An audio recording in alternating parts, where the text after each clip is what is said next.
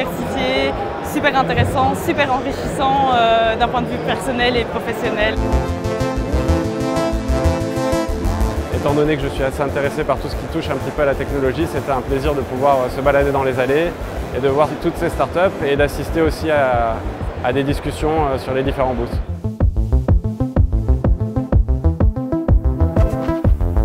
Je suis impressionnée euh, par la richesse euh, des exposants, des stands, des conférences.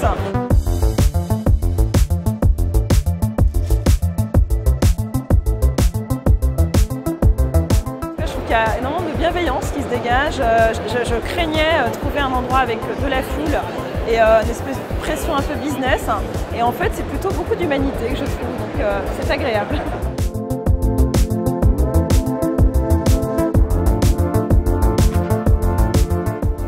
Venir à Vivatech, je pense que déjà c'est qu'on est un petit peu curieux et si on est curieux, c'est un endroit où on peut se plaire énormément.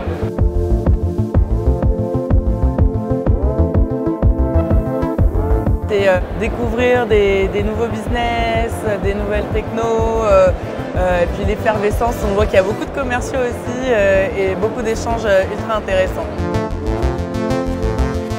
On a vraiment l'impression d'être dans le futur et, et que ça arrive bientôt, donc c'est stimulant.